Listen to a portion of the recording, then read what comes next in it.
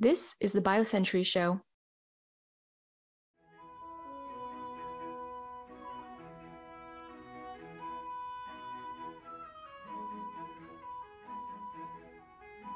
The BioCentury Show is brought to you by the second BioCentury BayHelix East West Biopharma Summit.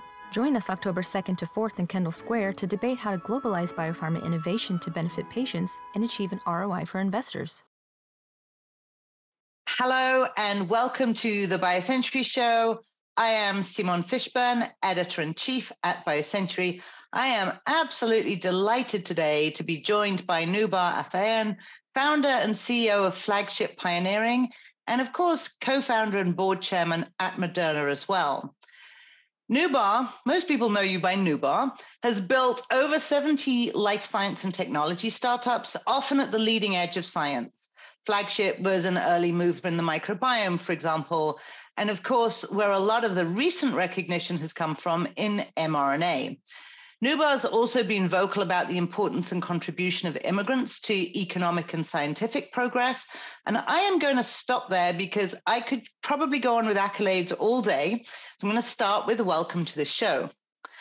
Noubar, this has been an extraordinary few years for the world, obviously, but also for our industry. And you, of course, with Moderna, have been in the eye of that storm. Hopefully, the storm has mostly passed. we'll see. And I want to ask you what you see as the enduring lessons from the pandemic from a prevention and treatment point of view. Great. Well, thanks, Simone, for having me uh, with you. It's always a great pleasure to to have a chance to reflect on things instead of deal with the urgent right. and the and the immediate. Um, yeah, I think I think the last few years have been quite a period of testing of what biotechnology is really all about and the impact it can have. And, and I think that it's fair to say that when that moment came, both on the diagnostic, on the treatment, and most notably on the vaccine side, the, the immense amount of science that's been invested in the translational work and the platform creation that our industry does so well really rose to the challenge and things that people felt would be inconceivable uh, were in fact not only conceivable but but actually done with with with some effect. And I'm I'm really proud broadly of the industry and the the piece the past 40 years at least that I've been in and around it, uh, as opposed to just the kind of one bit of contribution that Moderna and we made. Um, I think in terms of lasting lessons, um, I think it's kind of early yet to to figure out how that's going to play out, um, because uh, you know we're in this period where we're kind of rebounding from being in the thick of it to running away from it as fast as we can, and unfortunately, in the process, we are quite predictably forgetting faster than we can remember right. things, and and that's too bad. I'm holding out for a rebound not a rebound in the virus and the pandemic, but a rebound in in people's recognition that if we don't take meaningful lessons out of this, it will have been a real waste of a fairly traumatic experience in the human condition. I mean, you know, the official numbers are like six, seven million people died. Reality is that there's about 20 million unexplained yeah. deaths during that period. 20 million people dying is like a pretty major war. And the notion that we take no lessons out of the war, in my view, is a really uh, uh, uh, unfortunate regression of the human condition. So I, for one, think that those of us who have some of the experiences to relate need to keep it alive long enough that the receptivity to it uh, grows. And, and I suspect that it will. Yeah, I mean, I think that there's probably this sort of balance between wanting not to be all about the pandemic anymore, wanting to be able to invest in other things, and yet probably still needing to nurture. I mean, you the technologies have taken over, but you know, you still want to um, nurture the kind of programs that hopefully uh, can move things to a position where we wouldn't be starting from step zero next time. So that brings me to something that I I know is a term. I don't know if you coined the term or if you just have been a big proponent of it, and that is health security. I know that's a very important concept. You and I talked about it, in fact, a couple of years ago. Maybe let's start by asking what do you mean by health security and how is Flagship engaged in that enterprise? Yeah, I'll, I'll, you know, as as most terms, you know, even if you try to coin it, you can always find prior uses of it. But it turned out that our use of it was quite different than what it had been used for before. And let me explain how we think about it. So several years ago, actually, even before the pandemic, we started getting interested in this notion of whether uh, the science that we all work on, which is the detection and treatment of disease and aspirationally the cure of disease could somehow be moved upstream of a disease condition. And so that all the molecular science and very precise approaches to intervention that we've been developing for as drugs and vaccines could not move way upstream of disease. Of course, vaccines are often used upstream right. of disease, but but drugs are not. So in that process, we realized like, why isn't this happening? And of course, you realize that you know, the FDA regulates you as a drug only if there is a disease. Um, the reimbursement isn't completely unclear. If you don't have a disease condition, how are you going to get anybody to pay for it? So pretty much everywhere you look, you realize that the system, you know, medical school isn't teaching you actually what to do upstream of disease. They're teaching you what to do downstream of disease. So we kind of started realizing that, and I'll say this in a nutshell, that what we what we call healthcare is actually not really healthcare, it's sick care. And that, right. that's kind of an interesting marketing euphemism that's been developed over the years. And so if you if you realize, you know, how do you actually do true healthcare, you've got to think about prevention or what we increasingly viewed as preemption of disease. Could be delay, for example. You know, if you give somebody a choice of living three more months with diabetes or getting diabetes diagnosed two years later or having it two years later, which would they pick? Well, I think most people would pick two more lives without a particular disease, two more years. But but of course, you don't. We don't do anything to effectuate that. In fact, one of the things we realized in our research is that, for example, a country like the UK, which is quite comprehensive about how they think about healthcare, two and a half percent of their budget for health goes into anything upstream of disease. So 97 and a half cents goes into things that that follow disease. So the notion of health security, then as a terminology, was for me born out of this. This was again pre-pandemic. Was this notion of if we only thought about our health as a matter of security, the way we think of our physical status as a matter of uh, security, then we would demand, like we do from our governments, physical security against crime, against terrorism, against uh, any number of dangers. We would expect the same for our health. And, and if we treated it that way, then boy, would the emphasis change to all, not genetic predispositions only, that's kind of like the earliest of early, but everything downstream that precedes a disease. So we thought, why not think of it as a security measure? Why not think of it as protecting health, preempting the condition of disease? And, and now, of course, the pandemic brought that to a lot of people's attention. And so today, you may know in the UK, for example, there is an agency for health security. In the US, they have different commissions. So I think it's going to be over time more and more a hybrid issue somewhere between healthcare and health security. Let me just drill into it for a minute. I mean, I can think of very few, I admit, but I don't know if medications like um, statins or something that is really just changing your risk of getting disease later sort of fits in this paradigm. But outside of that, and, and maybe a few other examples, we know, especially that the reimbursement industry or the sorry, the um, the insurance industry has been very loath to actually pay for preventive treatments for diabetes, so lifestyle or you know things like that. So, what are your actual activities? Are you engaging with different sectors and trying to get them on board or are you actually in or both are you sort of involved in developing interventions that will work upstream so i would say you know i think it's going to take both because i worry that the bits and pieces that have been done that could reasonably uh, uh, fit into this category away from vaccines, and let me come back to vaccines in a minute, are kind of really uh, not heavily driven by the scientific process of actually quantifying the, pre, the pre-disease condition and then going after people who really you could show statistically you can make a difference for. So, you know, if it takes 25 years to demonstrate that something you're doing reduces risk, uh, nobody's going to invest in it uh, uh, anytime soon. And so that that's been an impediment. So what we're trying to do is say, okay, of the universe of things we could do, which ones might lend themselves to a shorter time frame?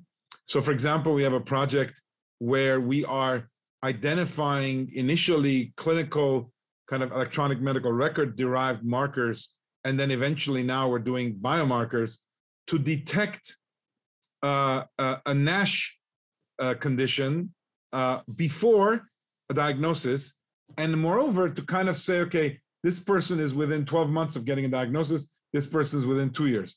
If we could make that segmentation and then go after a cohort that's say within a, a year uh, and show that we can delay that by a year or two years, the economic impact of that, the health impact of that, I think is measurable. And the question will be what interventions can do that? And what we're finding in that particular project, which we haven't talked about publicly before, it's one of our internal uh, uh, uh activities. What we're finding is that the early, early manifestations of the pre-disease condition look nothing like the later stage disease. The pathways are different, the targets are different. Therefore, what we've also found is that certain treatments that people thought would work in later stage NASH actually might well work in pre NASH conditions. And so we're actually trying them for that. So that's one example. Another example is we've got a, a project called Harbinger, which is Harbinger Health, which is developing a blood based cancer diagnostic tool that actually, at, at, at, at a circulating markers, but as opposed to doing just kind of statistically derived markers the way there are current companies that do, we actually found a very clear biological signature that if in fact you find in DNA that's circulating, there's a very high correlation with cancer of all types. But it's biologically derived, it's not statistically derived.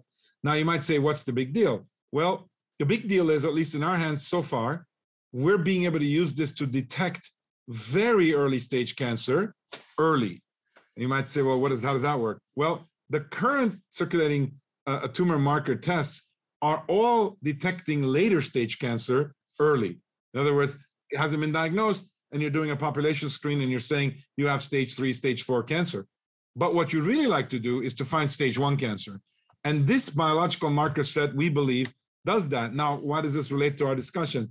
We're taking another step and saying, could we find stage zero cancer?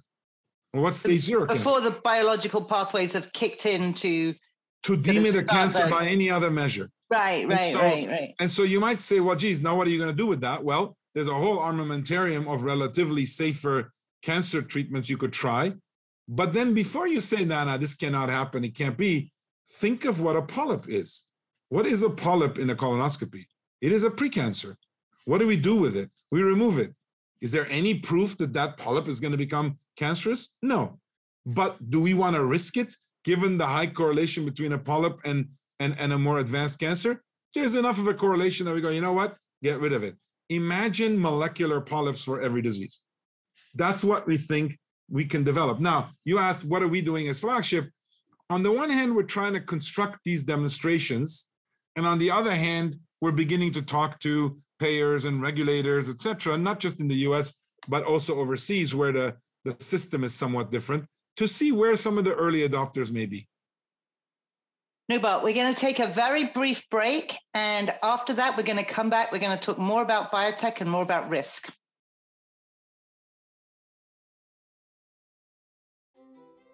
Emerging biopharma companies in the US, Europe, and Asia face the same dilemma. How do you globalize to deliver innovation to patients and reward investors? A handful of biopharma companies will build global operations. Most will achieve global economics through partnering and licensing. Others will capture a share of the economics by enabling global development and financings. This October in Kendall Square, BioCentury and BayHelix once again bring together decision makers and investors to address these industry challenges and to form trusted cross border relationships. Register today at biocentury.eastwest.com.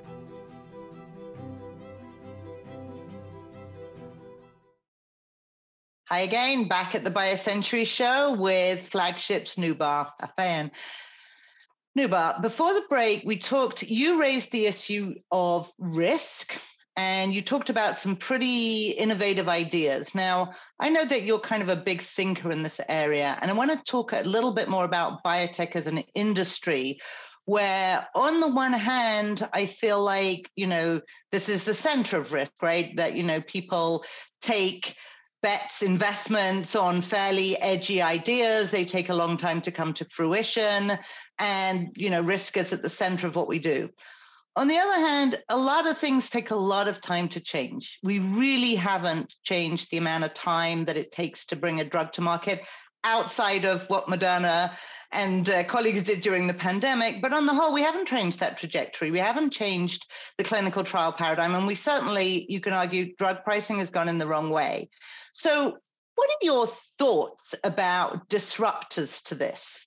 And, you know, are, are we as an industry willing to take different kinds of risks in how we disrupt how we how we do or make drugs from you know idea all the way well, look, and that's I've, I've been I've been at this for 36 years now, uh, as an entrepreneur and and innovator, and it is the the frustrating part of being in this industry because uh, it's hard enough that you're dealing with uh, science and the and the risks involved in science, let alone in human physiology and showing an effect in humans.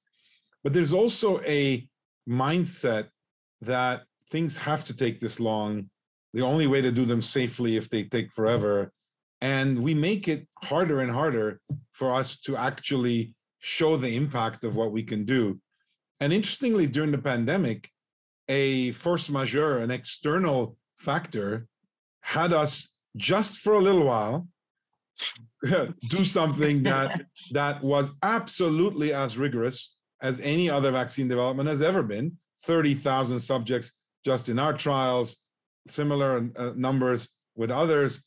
And, and, and, and we developed a highly efficacious vaccine that by any measure should not have been possible based on what people in our industry believe and we're espousing to on CNN and everywhere else. The fact that that can be done and it's not existence proof that we should absolutely dare to do things differently. The fact that it's okay for people to get sick and have difficult lives, let alone die, and that we stick to that as the norm, you know, is is is something that I that I lament, frankly. And it sounds it sounds grandiose to say this, but but you know, we're you you know, obviously when you get to be my age, you start thinking how much time do I have left, and you want to have impact, and it just seems like you know we're all in the slow lane, and and and and I and I do hope now, of course, there's always technologies around the corner. The two that I think may well have an impact is on the one hand, the programmability of medicines. You know, the whole new generation of medicines, whether it's RNA based or DNA based or even protein based nowadays, can be programmed. That didn't used to be the case. So, you know, if you've got 10 years to do something, you don't exactly think about doing it reproducibly quickly. As you just kind of say, okay, whatever, I'll keep trying trial and error. Now that's changing. And then, of course, the, the, the advent of data driven algorithms that can give us much better sense of how to navigate the uncertainty of testing in humans using real world evidence, using all sorts of other things, and segmenting people. That was also not possible. Now, if you put a gun to my head and said, Do you think that will make a huge difference? I can't guarantee it, but boy, do I hope something will. And the question will be Will the regulators increasingly gain confidence that you regulate one-off drugs differently than when you're just changing a few bases and you have a completely new drug. We saw that during the, the pandemic as to how the FDA looked at the, the, the 1273 mRNA and then followed by the additional versions we made for variants. And nowadays, with a new seasonal one, we're changing programmatically at a computer the sequence and then the one that hopefully will be available relatively shortly here for the new season. We're not making it in in in in, in eggs and and chickens and the like, we're literally synthesizing whatever strain we want, and we're not going through a start from scratch kind of trial. We're showing equivalence, etc. Imagine that in cancer, and it will be possible in cancer as we use RNA for cancer vaccines. Imagine that in other diseases. So I, you know, I, I think that kind of humans are essentially hopeless optimists, uh, and and we have to be for health. Certainly in our industry, right? In our industry, and I think there's enough. An optimist has enough reasons to stay optimistic in this regard. A pessimist, usually people who invest in biotech, kind of who take advantage of this volatility, will kind of find all sorts of reasons to say it'll never change. And you know, the jury will be out. All right. Um, so I'm going to ask a couple of questions. A, a short one that's a follow up to that. You sort of went down the um, data science route, and I, I want to ask you. I know a lot of industries. I mean, our industry has a ton of data, right? We we're sitting as an industry on an enormous wealth of data, and there are other industries where you know AI can be very disruptive in a good way uh, a positive disruptor. So, my real question to you is do you think that can happen in our industry, even from drug development to business operations? You know, the commoditization, the sort of fact that generative AI and machine learning is just going to become fairly routine or commonplace, um, even as a skill set. Does that have an opportunity to really change the trajectory in drug development?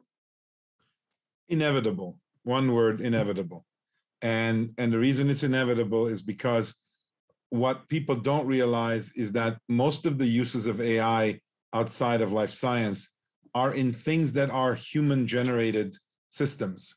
Traffic you know transportation you name it logistics etc these are complex human generated things.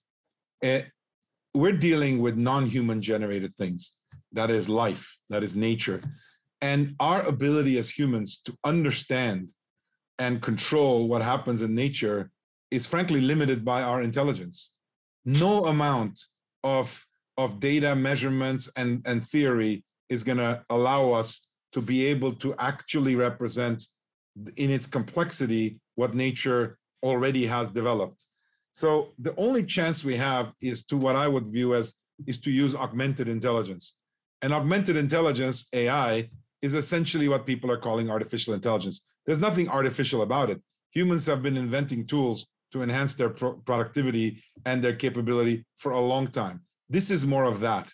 There are people who want to think about AI as a replacement for humans. Well, you know, last I checked, there are some things that technologies we've previously developed, computers, cars, have also replaced humans. But at the end of the day, uh, it's just part of a continuum as we as we go forward. And, and it's important to understand that in our industry, it's inevitable because we don't have the mental capacity to actually figure this out. I mean, just think about it for a minute. I don't think people have realized just how uniquely applicable and disruptive AI can be to what we do at the science level. And then, of course, clinical development and, and you name it, every aspect of the complexity. And that is, you know, we, we're dealing with a cell that has tens of thousands of distinct components, if not more, that interact in thousands of ways among each other, yeah. dif- distinct ways. Now, you tell me a paper written 100 years from now or 1,000 years from now, in which human communication are we going to be to explain something that requires 10,000 things interacting in thousands of ways to explain, right? This cell divided because, and then I have to now tell you about, whereas a computer can do that in various ways already, a bit poorly compared to tomorrow, but in a way that can get better and better. And I, I think it's inevitable. No, but I want to move from there to a question of innovation funding. You and I talked a couple of years ago, actually. I looked at the date, it was June 2021. And at that time, we were talking about the massive amount of capital that there was in biotech. The tables have turned a little bit. Mm-hmm. And I want to spend a couple of minutes on our ecosystem and about innovation. So I think you and I have just talked about the tremendous amount of biology and technology in the last decade. There's you know, I think it's unparalleled, you know, in, in my mind. Um, but a lot of people do feel there's been a lot of redundancy when it comes to company creation. Um, how are you looking at the landscape in biotech right now and, and how you think it's going to unfold in the next few years? You know, I I've always viewed the entrepreneurial process as a human equivalent of Darwinian evolution. And the notion that you could look at a natural ecosystem and say, nah, there's too many bacteria here, or there's too many, you know, uh, plants here, is a conceit that only analysts can have of an industry. It's not at all a reasonable point of view. The right. no, no company is, is, going to sit there saying there's too many. I must be the one to fall on my sword. I, you mean? I, yeah. Or, or look, essentially, economic forces, availability of capital. There's a limit to how much loss people can take. Uh, is going to f- go through various waves. By the way, interest rates being a massive uh, uh, uh, uh, uh influence over that. The reason that that money is not flowing as much to biotech in some ways has to do with just the cost of capital and the alternative right. investments they could make for the kind of risk that we represent. If the interest rate is zero, you're going to want to expose yourself to risk and kind of play for the upside, but at, at higher and higher interest rates. So I say that only because you can't ignore that. Just like in nature, if the if the planet gets 10 degrees warmer, the, the ecosystem experiment is going to change. I can assure you, you could sit there as the best you know species you want, and all of a sudden you're now at a competitive disadvantage. So I've always viewed it as kind of natural, uh, a Darwinian selection process. And yeah, it's a it's a cruel way to make progress. And and and I think I've always look, I, you know, this may this may uh, uh, uh, just simply indicate that I'm and I'm old, but I just don't think that this has much to do with who's got the best idea, uh, who's got the best team. This has also to do with the fact that you know it, how how much of a lead do you have? How early are you? If you're too early you may get extinguished because nobody understands what you're saying. If you're too late you will be commoditized because 100 people want to do CAR-T trials and 1000 people want to do gene therapy trials. And there's nothing you can do about it as an entrepreneur. You have to look at that landscape and say do i want to go to the center of it where it's commodity or do i want to go to the edges where i have risk of being the the one left out and and that dynamic will change. And as soon as somebody says okay all of a sudden rna works then a thousand people come that way and you better be a, kind of doing something different if you want to keep pushing and pioneering. And that that's so i i don't all these pundits who kind of say you know flight to quality pruning of our industry this is not they're describing a natural phenomenon. They're not describing a rational one in my opinion. Um, you talked uh, about the entrepreneur, and I want to end with a, a, slightly different question. You have been very vocal and erudite talking about the role of immigrants in innovation. You're an immigrant. I'm an immigrant, at least to America. And, uh, um, you know, you've got a lot of recognition and commendation for this. I want to ask you two questions, which I'll roll together. Um, so, what do you see as the principal issues today regarding immigration, and why has it been such a priority for you to speak out about it? Well, so first of all, I've been called worse things than erudite, so thanks for that. Uh, but, but, I'll have to remember that. I'm kidding. Um, look, I think so. You know, I, you know that several years ago, the, this country was increasingly, at least in some quarters, hostile towards the immigration, the very immigration process that made this place great. And you know, I remember very clearly imprinted in my memory banks is an experience I had when I was 20 years old, and I came down to go to MIT to do my PhD, and I walked down what's a famous infinite corridor there, and on the wall was the a, a, a picture of an Indian chief pointing out, saying, "Who are you calling foreigner, pilgrim?" Right? And for a place like MIT that is filled with foreigners, the notion that we're all foreigners was something that stuck with me. It didn't affect me at the time, but then over the years, I realized that interestingly, all innovation is, all entrepreneurship is, is just intellectual immigration. Because you leave the comforts of home, you leave the comforts of knowing the culture and the laws and the behaviors, and you put yourself in the middle of nowhere often made fun of, often kind of your accents made fun, etc. It's the same thing. And if you can do that, then you create a new place and then other people move into where you created a civilization as opposed to where they were. And then I realized over time, more recently, that that you know that physical immigration that many of us have experienced is an interesting prelude to intellectual immigration because you've at least experienced it in your life and you know what it is to kind of survive on the one hand the conditions and then try to thrive either getting education giving opportunities. This is a country that does that really better than anywhere on the planet. And yet several years ago political winds made this a, a political topic where immigration was being discouraged refugees were being treated as kind of extreme immigrants in a very poor way. And i thought that being a beneficiary of this journey, looking around at 50%, 60% of the startup leadership in certainly unicorns in the West Coast, where the data is pretty good, being driven by immigrants, that if we cut that off, we absolutely make this country a much worse place economically and for that matter, culturally and diversity wise. So I thought I have a responsibility to at least make that point. Um, you know, I'm not I, I'm not involved in politics, but I certainly believe that that is that is short termism of the highest order. Uh, I think this is a country that's based on regeneration. And the regenerative power of this industry is on the one hand, education of this country is on the one hand, education, and the other hand, immigration. Well, that is a great way to end this. It is always a pleasure to talk to you.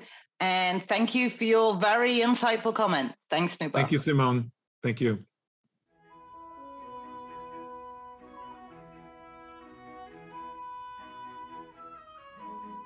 The BioCentury Show is brought to you by the second BioCentury BayHelix East West Biopharma Summit. Join us October 2nd to 4th in Kendall Square to debate how to globalize biopharma innovation to benefit patients and achieve an ROI for investors.